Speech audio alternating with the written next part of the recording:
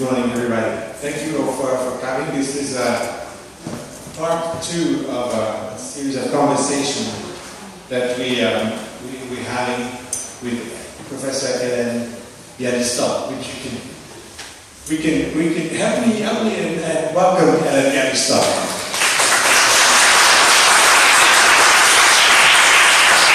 This is a privilege. This is a, Hélène is a pioneer in, in bilingualism and, and, and, a lot of her research on the brain, on cognition, has, has, has led to a definite shift in the field of bilingualism, bilingual education, how we understand how the brain functions. And maybe as a warm-up question, uh, could you guide us through uh, through the path that, that you followed um, throughout your, your career and your research, uh, and, and what led you to, to this field and, and, and to New York this morning. Okay, thank you. Thank you for coming out on a very uninviting day. It must have been an effort to I was trained as a developmental psychologist. My interest was in language and cognitive development. I wanted to understand how children learn words, how they learn what those words meant, and how they put it all together uh, into a developing cognitive system. So that's what I did on my graduate work. But after I graduated, for reasons that are, you know, accidents of where you happen to end up or get a job or, you know, reasons you didn't really predict. I found myself in a situation studying second language acquisition. Uh, by children in high school were taking French courses, by adults. At the time, this was the late 1970s, this was not a topic of study for psychology or for developmental psychology. It was a topic of study for applied linguistics, uh, second language acquisition. So these were very different fields. So I, I was actually very fortunate because I was the first person who came to look at this field, second language acquisition, through the lens of psychology. And it was interesting. And it was really open territory because it allowed me to ask questions that had not been asked before. So that became a deep thread of my subsequent work. And for the next 15 years at least, maybe 20 years, my main research was in children becoming bilingual because these threads became intertwined for me. And I noticed that as bilingual children were developing this set of ordinary ideas and concepts that all children need to develop in order to learn to read. These are meta-linguistic concepts, understanding what print is, what sounds of the word mean, how writing represents sounds, but that very special and yet deeply abstract symbolic relationship is. I realized that these essential insights were coming to bilingual children more readily than they were to monolingual children. Something about these basic ideas were clearer to bilingual children. That's important because these ideas are the basis for literacy.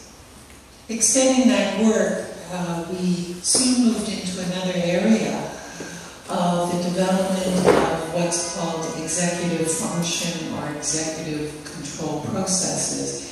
These are the things that your mind does, quite without you being aware of it, to keep you focused on the important information, especially when there's distractions.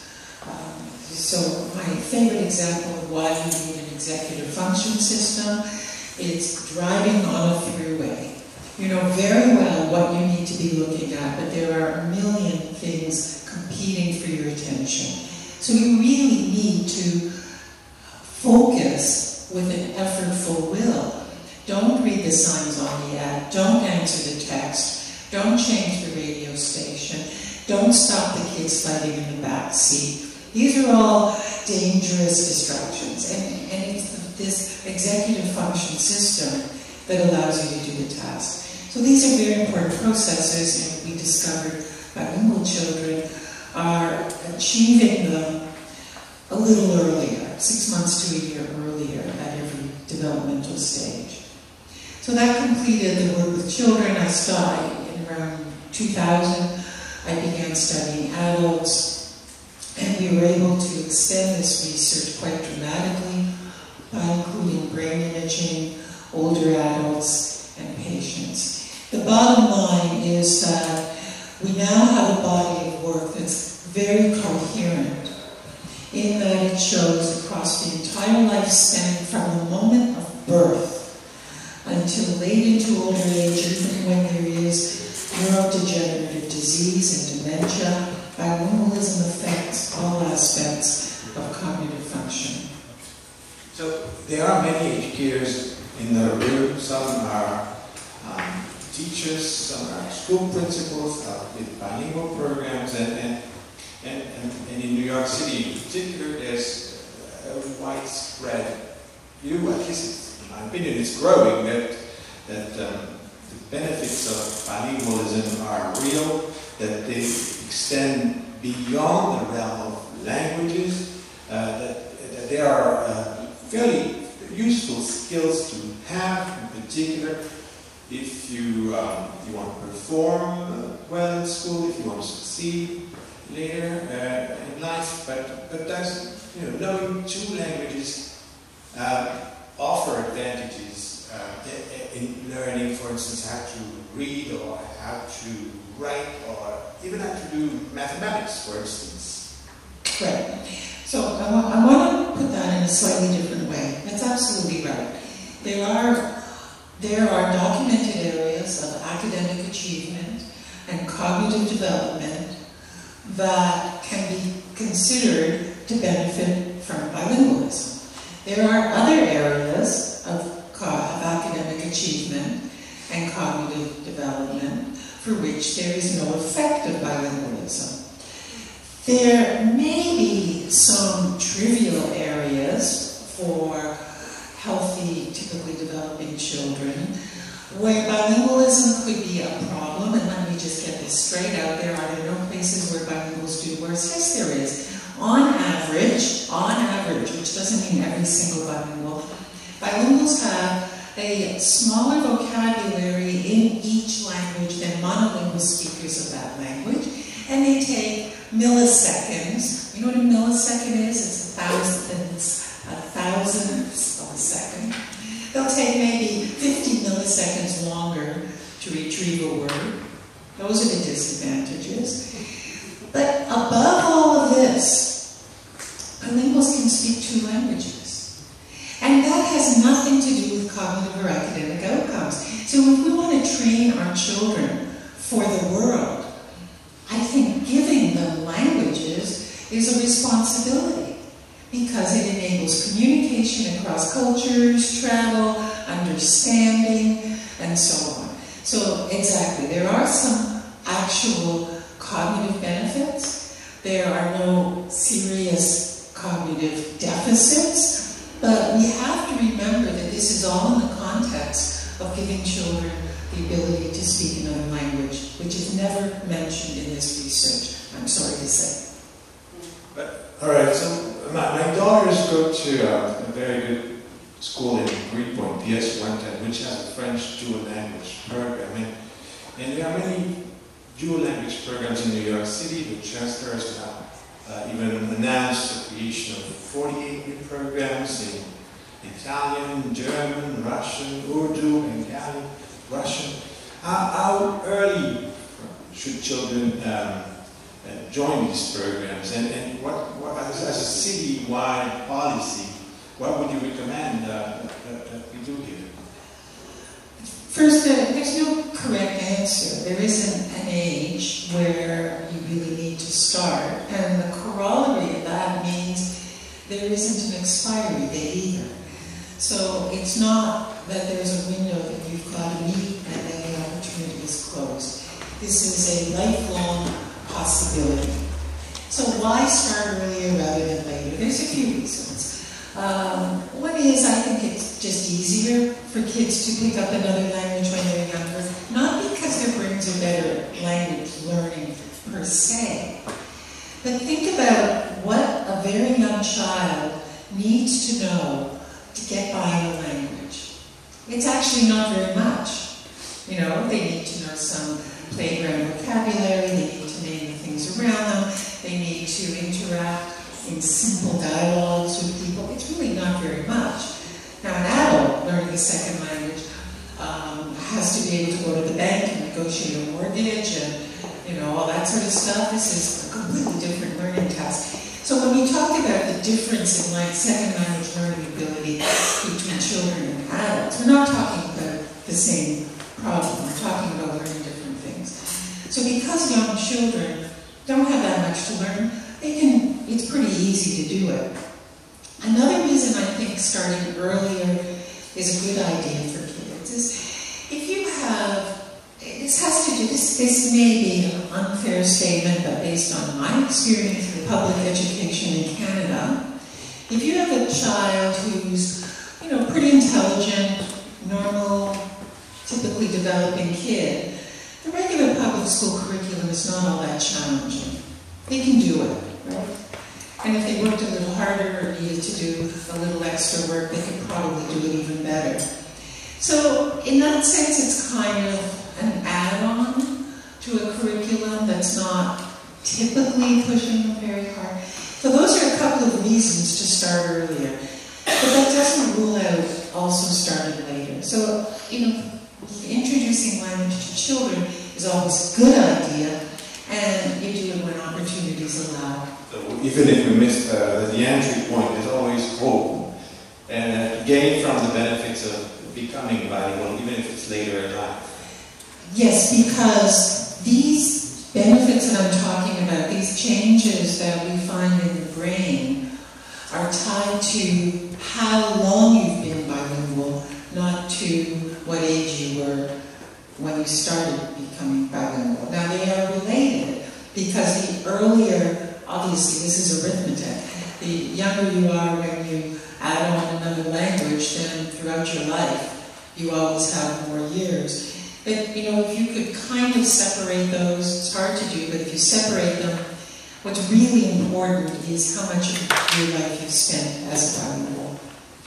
So, is it true that my daughters will be maths champions when they finish with uh, the PS 110? I'm sure they will Fabrice, but not because of French. Oh, okay.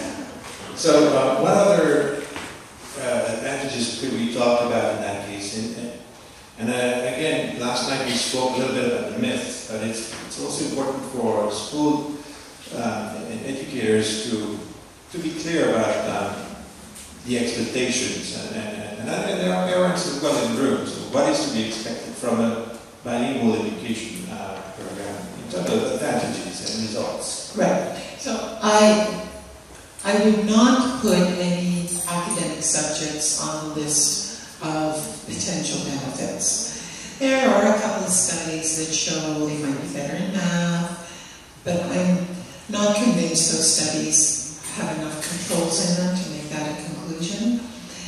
Um, learning to read, if you're learning to read in two languages that are written in the same writing system and the same script, there's a crossover benefit, it comes easier. But if your two languages are written in different writing systems, there's no spillover benefit. So it depends. The real benefit for children's cognition is in the development of what I referred to earlier as the executive function system. So the executive function system is the most important thing children develop. It predicts all outcomes. It predicts academic success, long-term health, health and well-being. It predicts relationship stability. Kids who develop really strong executive functions. You may have heard of the marshmallow test. What is the Marshmallow test is a very famous study, actually from New York. About 40 years ago, uh, kids were brought into the lab, four-year-old kids were brought into the lab and sat down, and a marshmallow, which is a huge treat, okay, you gotta think like a four-year-old, is put in front of I them. know what you mean. In cartoons, yes? Oh, yeah. and then the kid is told, there you go, that's your marshmallow. Uh, you can eat it now if you like. But if you wait 10 minutes, I'll give you two. And then the experimenter leaves the room. And the cameras are running. And it's really hilarious because they, they sit on there. "Oh." And, and so this was all documented. And so there's some kids who manage to wait and get two marshmallows, and there's a whole pile of kids who don't, they just eat the marshmallow. So that was 40 years ago. And about every 10 years since then, these same kids have been brought back. And the ones who did not eat the marshmallow have done better in life. This is true. So what allows you to not eat the marshmallow is the executive control that monitors your behavior, your impulses, gives you the, the strength to inhibit that immediate desire to attend to something else. That is executive control. I'll try this at home this evening. wow. So, um, now, there are many, many factors that could influence um, bilinguals and bilingual education, of course, you know, from the socioeconomic uh, status, cultural backgrounds. Uh, all of this is often mixed up in the outcome of bilingual education. But so, how can schools help children become bilingual in, in, in this regard? Right, and so what I'd like to do is address the premise of the question first. And the premise of the question is really important. It's that these skills I'm talking about, executive function skills that are really so important in development, are also influenced by other things. Socioeconomic status, huge. Um, and, and another one that I'm going to talk about for a minute is the child's level of attentional control. So we have a lot of data on both of these. So we have studies, a lot of studies at this point, showing that bilingual children do better on executive control tasks when they're four years old, six years old, eight years old, and so on. They, they master these tasks a little earlier, they perform better. Now we also know that socioeconomic status is very strongly related in the opposite direction. The lower the socioeconomic status, the poorer children do on executive function tasks. And similarly, all children differ in their natural ability to control attention, their natural level, if you like, of executive function.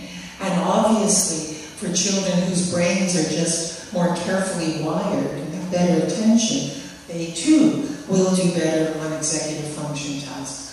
So I want to look at each of these separately in terms of bilingualism. There's now several studies comparing the effect of bilingualism and the effect of uh, socioeconomic status on the development of executive function. And these studies all show that both factors are additive. So at every level of socioeconomic status, being bilingual is helpful. So even if you're in a low socioeconomic level, bilingual children are doing better than. But I'll just tell you about one recent study because it's very dramatic. It was conducted by referring to a database of what's now called big data, which is a real trend in the social sciences. So the researchers had access to um, scores, if you like, of over 18,000 children in the US. 18,000 children, no single study that we conduct uh, can compete with that. And these children covered a range of socioeconomic levels, covering the whole scale. And the children were monolingual or bilingual, and they all performed some executive function tasks. So here's the really important finding. Bilingual kids always did better than monolingual kids at every socioeconomic level, and the differences were large. But crucially, the differences were greater, which is to say, the boost from bilingualism was substantially greater at the lowest levels of SES. These are the kids who needed it most. So the more the kids were compromised by their low socioeconomic level, the more helpful it was for them to be bilingual. So that's socioeconomic level. We also did a study with children where we looked at their level of normal attentional control and their level of bilingualism. And again, we found that both were helpful. If they had just had better brains wired for attention, they did better on these tasks. And if they were more bilingual, they did better on these tasks. So both made their performance better. But there's a very important caveat here. Children whose natural level of attentional control is very um, is problematic may cross a clinical threshold into a condition that could be diagnosed as ADHD or some clinical attention disorder. Those disorders are associated with particular um, wiring in the brain and wiring precisely in the executive control system. So they're not ADHD because they don't want to pay attention, because they don't want to learn. They have these challenges because of the way their brains are wired and they can't pay attention. In those cases, bilingualism flips from being helpful to being potentially harmful.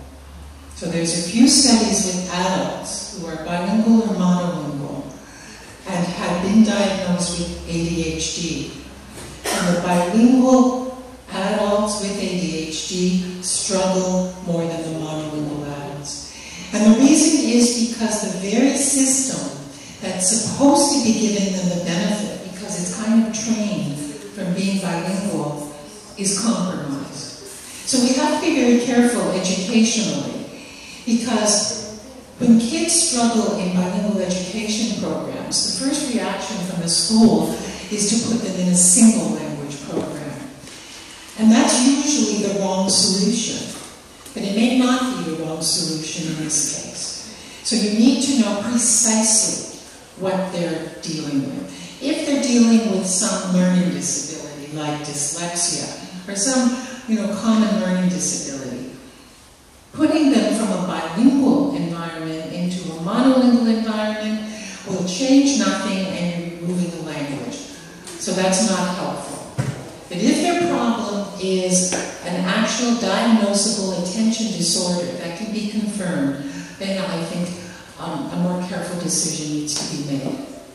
And yet, I think there's still a lot of confusion uh, in this country, in particular with the uh, bilingual education being tran- transitioned. It's helping, particularly immigrant children, learn English, gain access to well, the equal opportunities that learning English in the United States uh, provides. But yeah, from the their language, their say monolingual French, monolingual Chinese, to becoming monolingual English speakers. It's, what's, what's your right? And, and so these programs, so that, that's that's right. And you know, when you talk about bilingual education, this is a really important factor. What are the two languages?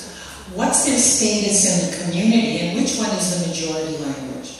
And to be even more blunt, which one's the prestige language?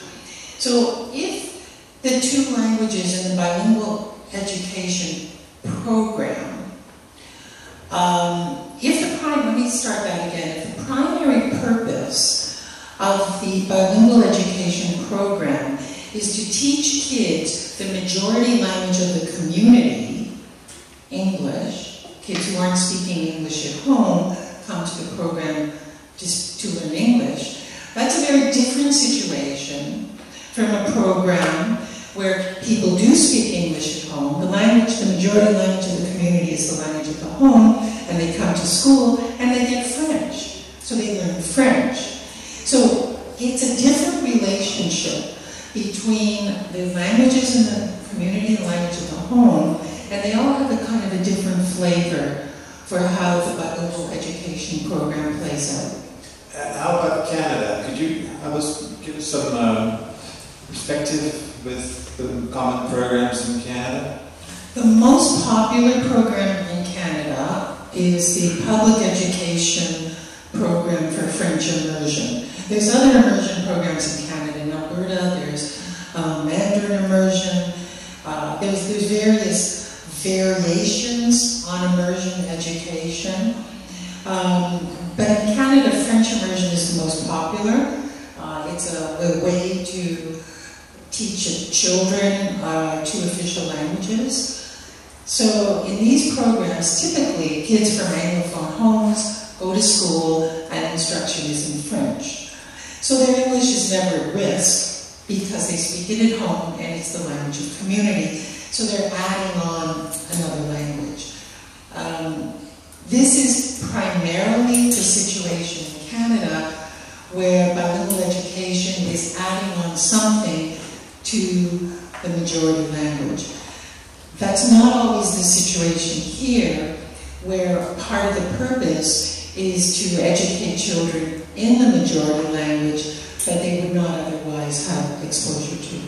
Although some states uh, do um, come up with a new definition, uh, particularly with dual language education. Uh, in states like Utah, for instance, are changing the way um, bilingual education is shaped in, in this country. And, and, I, and I hope it's a model that, that keeps on, on changing this, the scenery. Um, I was going to ask you a silly question because I'm thinking, and I always think of Canada as being a bilingual nation, for instance. And, and does it mean that Canadians have better brains than Absolutely.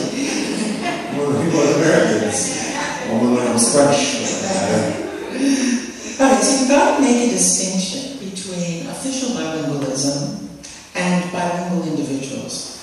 So bilingualism in society means there's two official languages in Canada, and everybody could say, well, of course, and you know, Canada, there's English and French. That's just a national policy that services, government services and education have to be provided in English and French.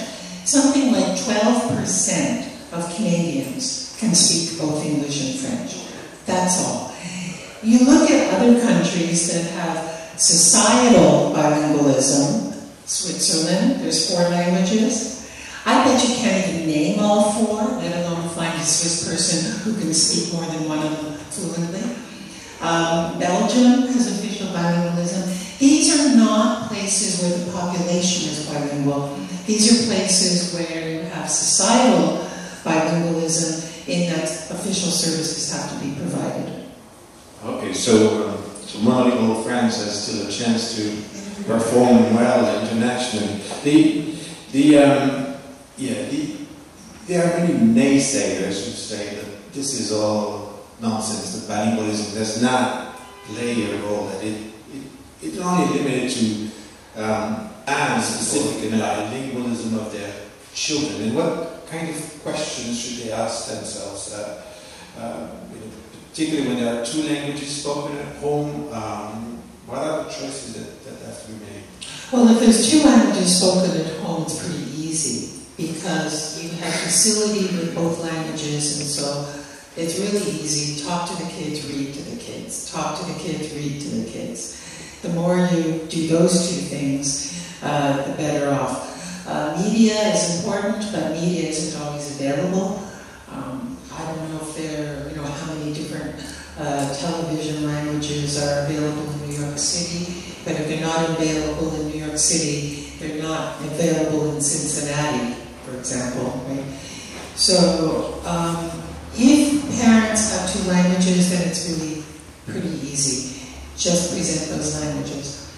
But if the it's a different situation, if you have, for example, monolingual parents who send their children to a dual language school or a bilingual school because they want them to learn the other language, which is very commonly the case in Canada. Anglophone parents send their kids to study in French, even if they have little or no French. Then the parent's job is to support English. Uh, school will take care of French literacy and French conversation. You do what you can, so you make sure English literacy is at the highest possible level. And there's nothing more important anyway, no matter what you're talking about, than reading stories to kids. Nothing is more important. Reading, reading, reading. How about singing? If you can sing, I can't sing.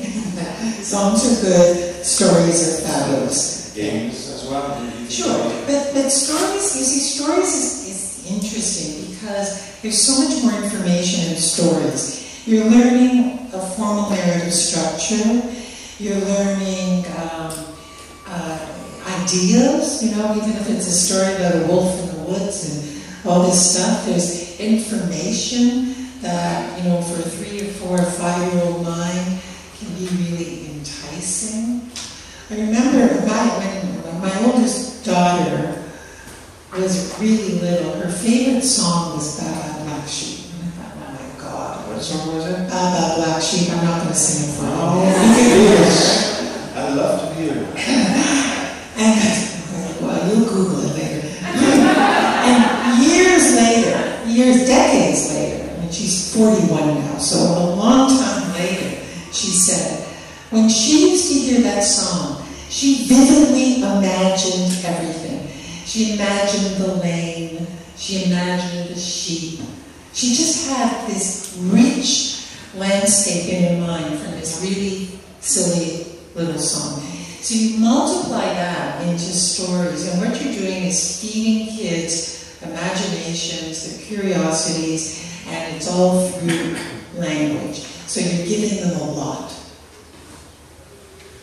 Perhaps uh, we will take a few questions from, uh, from, from the audience. I think it's important to, to hear, uh, hear from uh, the New Yorkers in the room, and, and of course, are people from outside of New York. But before we go there, can you tell us how research can help um, evaluate the outcomes of bilingual education for, for language, for literacy, for academic achievement? Um, Okay, yeah, let me, talk a little bit about that then. So, so what are the sort of the empirical approaches to bilingual education? Um, I'm going to tell you about one study we did that I found very exciting. It's a very small, small scale study. So most of the research we do, especially the research we do in Canada, is quite different from the reality on the ground here. Because the reality in the United States is that bilingual education and bilingualism is largely associated with Spanish-English bilinguals and a, lower socioeconomic status. And the bilingual education program, I think, has a slightly different role. So we couldn't, those aren't questions we can easily investigate in Canada.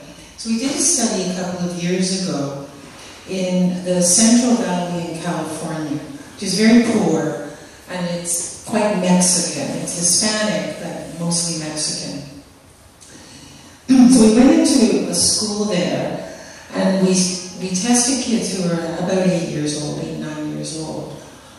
And we, we did a few things with them. So these kids are all at-risk kids. They're all quite challenged. Their academic outcomes are really not very good. But we gave them not academic tasks, we gave them executive function tasks. And we gave them English and Spanish tests as a way of figuring out how bilingual they were. So, you know, where are their levels of English and Spanish?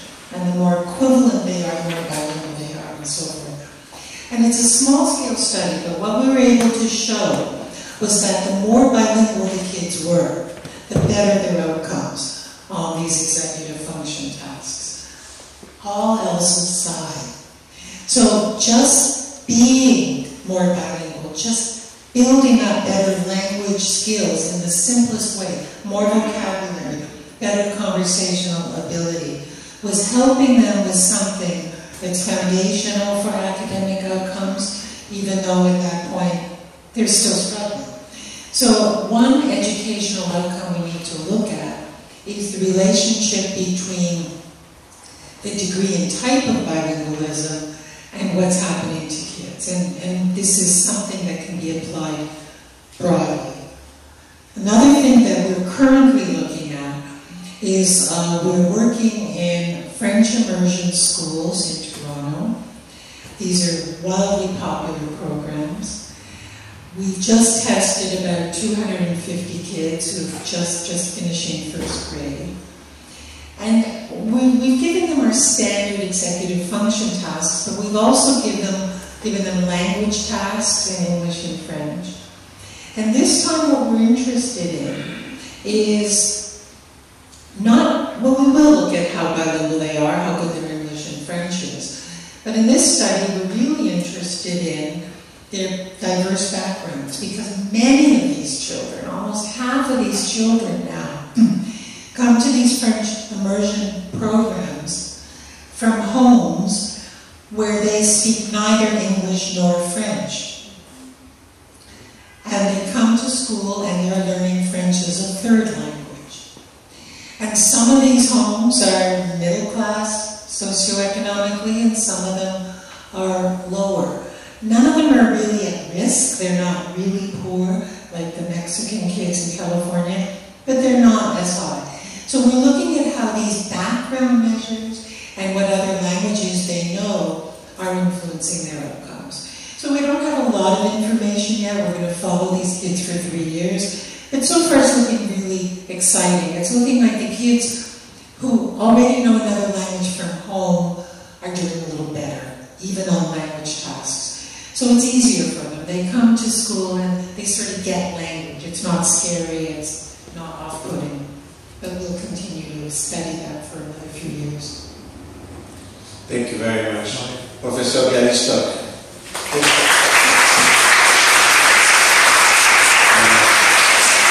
So we will take a few questions. We have mics in, in uh, the room, so, so please go ahead. We have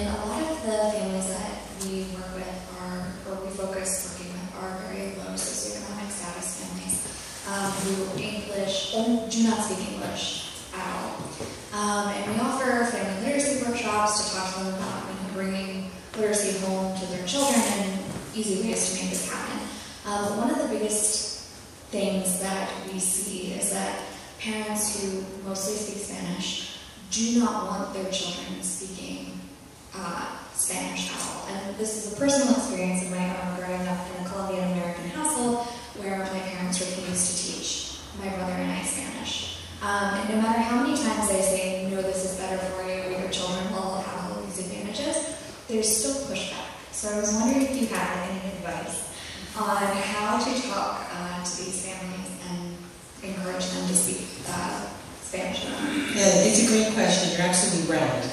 And, and you hear this from lots of immigrant groups. I mean, immigrant groups come and say, and have for the last hundred years, we're an American now, we're not going to speak that language, that old world language. You have to become American, just if I So this is a huge problem.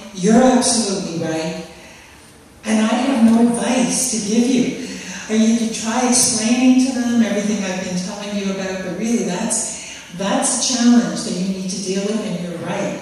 You've got to persuade them that it's better for everybody. Here's another reason it's better. The kids need to connect to their families. They need to be able to speak to their grandparents. They need to someday um, visit the places from which their family emigrated and feel they belong. So aside from their brains, aside from their executive functions, these kids need those languages to complete their own identity and to connect with their family. So good luck with that. I have no, no, spe no special magic solutions.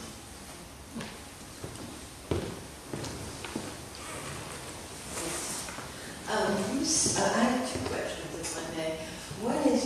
said that executive function in children, in children who are bilingual is better than if they were not bilingual. Is the brain, for the second language, is the brain, oh, wait, is the, is it a different part of the brain where you learn, where the second language is sort of learned? Well, uh, okay, a couple of things here. So let me clarify. So the executive function, it's not that it's better, but it, it develops at a slightly faster pace. So if you compare, for example, two four-year-olds, and we know on average the level of executive control we expect from a four-year-old, a bilingual kid will be a little ahead of the curve. But all kids get there. I mean, they all develop reasonable executive functions. So it's not that it's an outcome that only bilingual kids achieve. They, through development, are a little ahead of the curve. In terms of where languages are learned, that's a more complicated question. We used to think of brains as kind of phrenology. You know, there's this bit you can write in language, there's that bit you can write in vision, there's this bit you write in motor control. Largely been abandoned. Um, there are regions of specialization, but mostly all of your brain is involved in everything you do. So the, the language use uh, is a whole brain activity. Where exactly is your knowledge of language stored? Well, someplace in the medial temporal cortex. Maybe some of it overlaps for the two languages, maybe some of it doesn't. That is one thing that seems to change with age of acquisition. You know, the closer in age you learn both languages, the more similar the geography. But the geography doesn't matter. And what we understand more about brains now is that it's not the real estate, it's the processes. Um, it's the networks that connect um, regions of the brain to each other uh, in ongoing activity. So maybe it doesn't sound like an exact answer, but the situation is more complex than same or different areas. Um, I have three questions if you don't mind. Number one, I deal with students. Some of them are very hyperactive. I am a very hyperactive teacher, so I never repeat a class. So when I see hyperactive students, what I do is I get I give them the tasks so they can help the friends. And then I obtain two things. The, the hyperactive child comes down and feels important because he's working. Do you think that by doing this, he processes or retains better than on his natural habitat if I were to ignore him and just pretend that he cannot assimilate?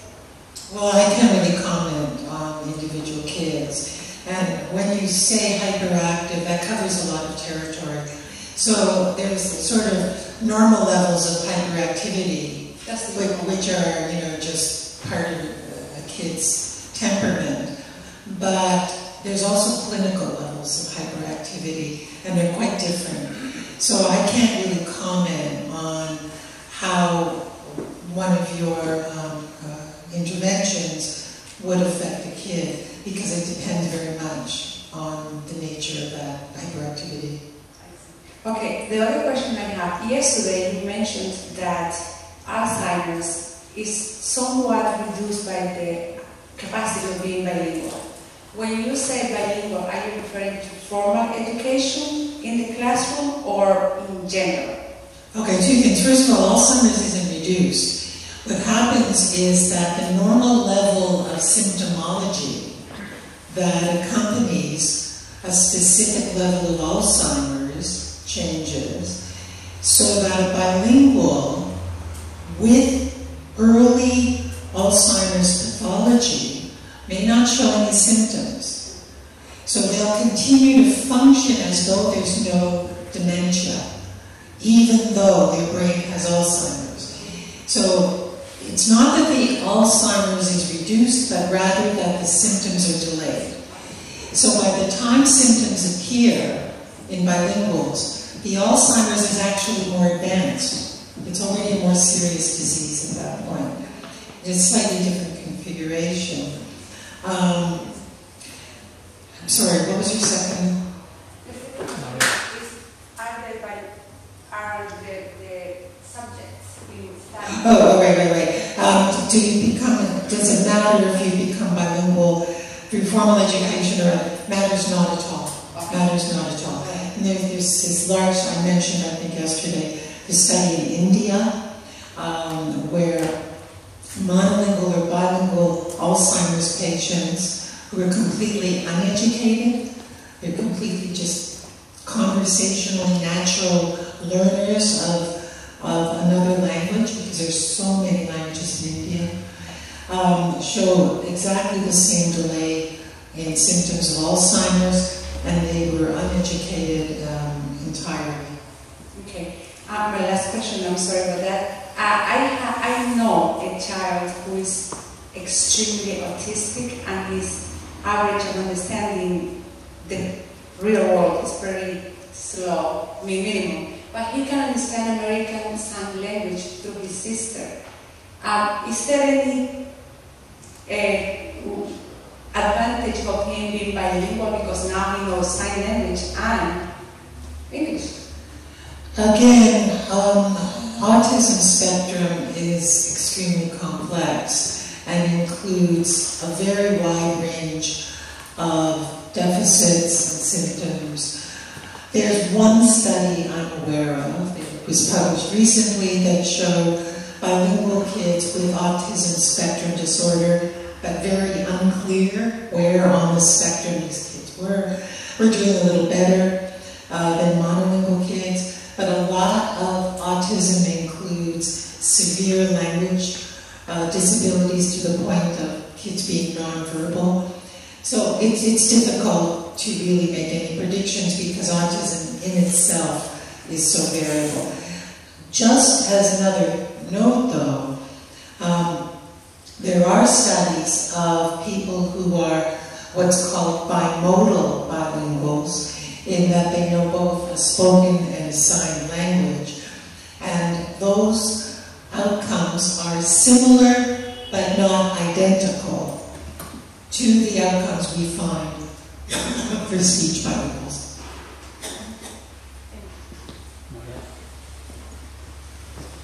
Two more questions. Uh, to wait, wait. Hello, it's a great honor to have you here today because I read a lot of your work. I'm an English teacher from Russia. I'm a Fulbright program doing a research of young and adult bilinguals. Question, I think, relates to the previous one. Do you think there is any way that child's personality can help them or prevent them from succeeding in becoming bilinguals? And second point, do you think there is a way that uh, there's, uh, are there any problems that children might face trying to install their identity? Because I think when we speak between languages, our personality might change. So are there potential any problems that children might face being exposed to languages?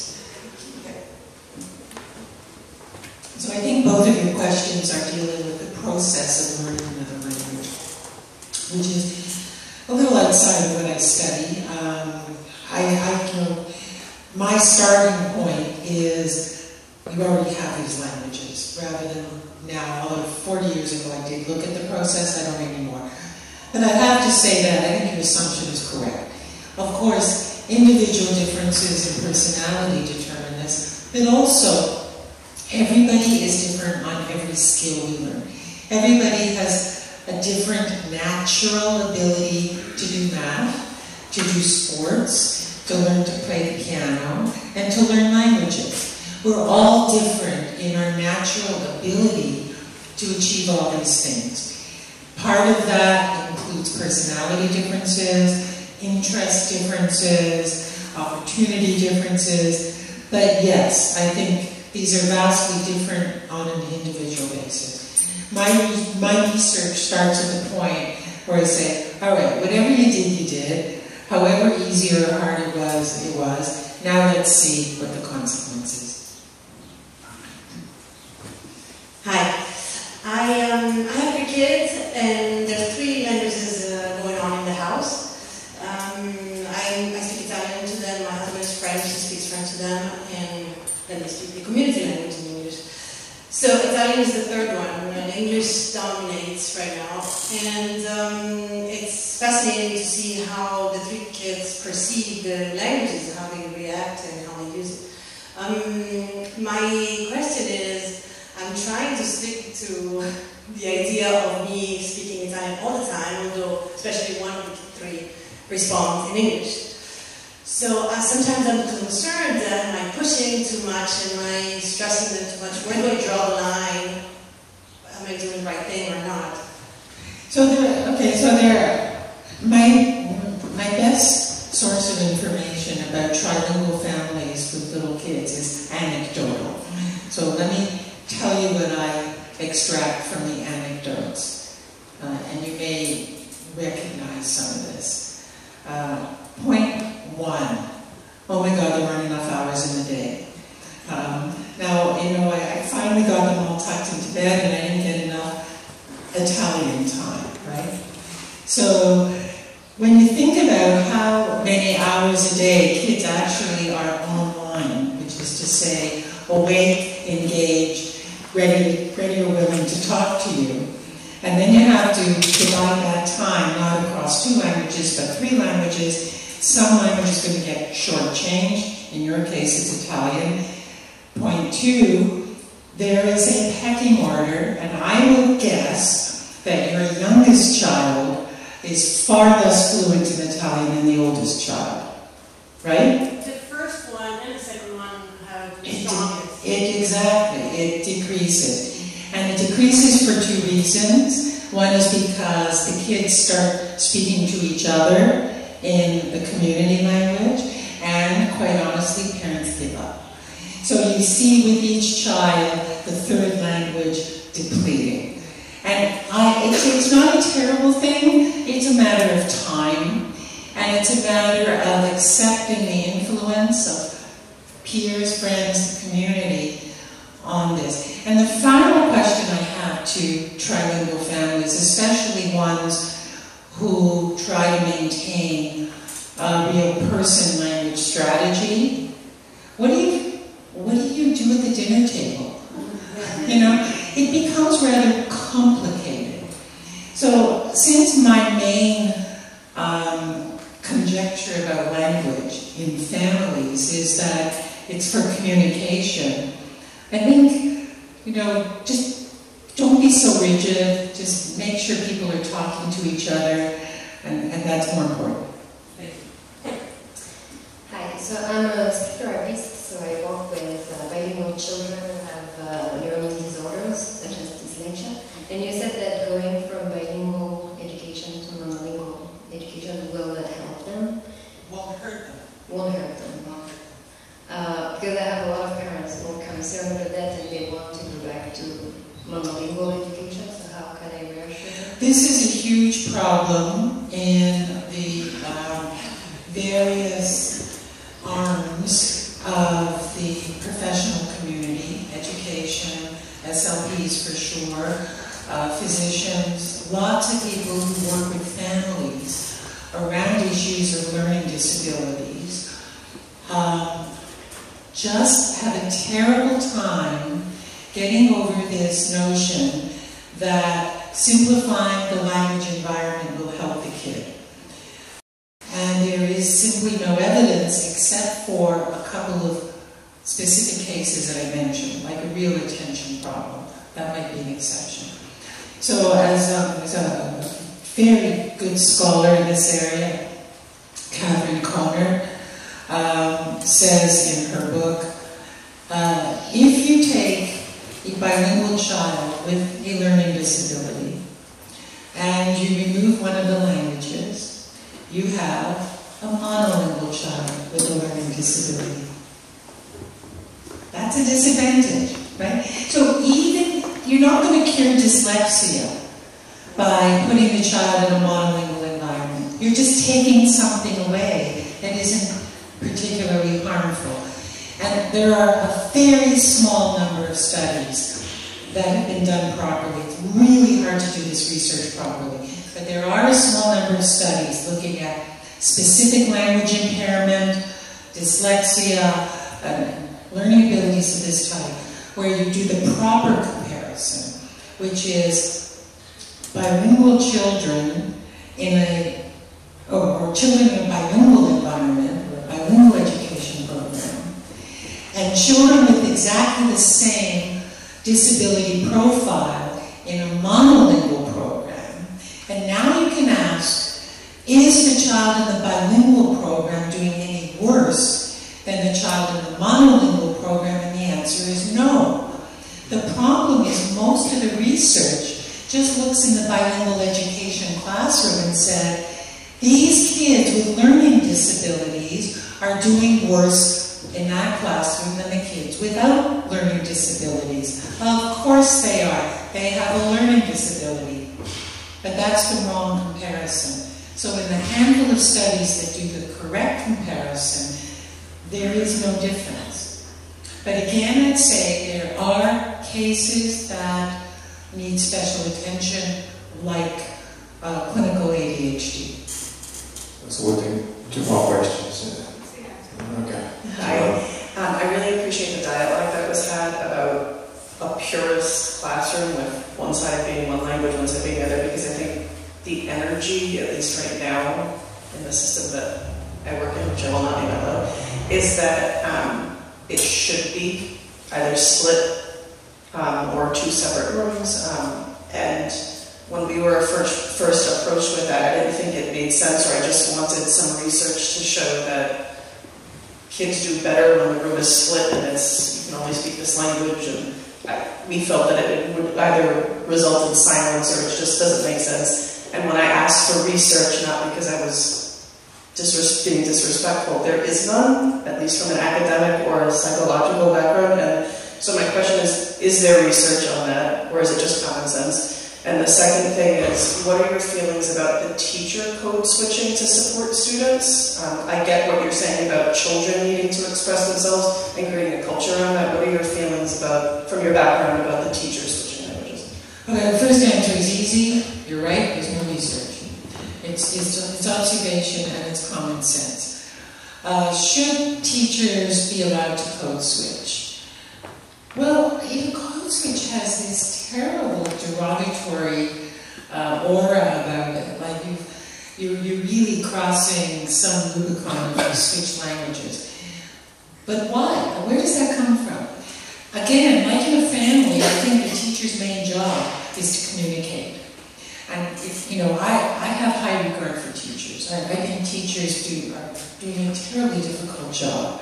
And I trust the intuitions of good teachers. And if good teachers feel that they can get through to this kid in some way, and that way may involve including bits of another language, why wouldn't you? So I, I just don't see code switching as inherently a terrible thing. What's important is communicating, and you do what's necessary to achieve it. Well, thank you very much. Thank you, uh, young staff, for on. Have a very good day in rainy New York, and, uh, and let's create more valuable programs in the city.